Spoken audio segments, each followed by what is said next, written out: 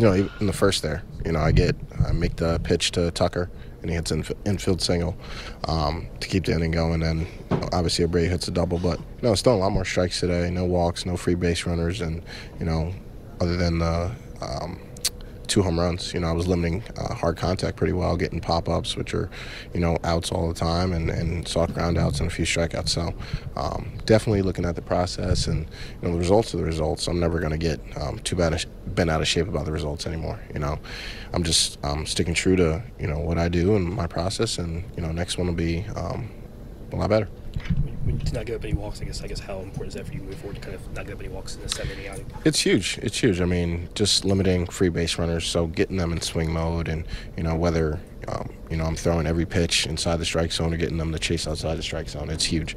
Um, so I thought today was was a really good um, showing of that to you know get them a little bit uncomfortable. Um, you know with inside fastballs, breaking balls away, um, and just um, getting them in swing mode.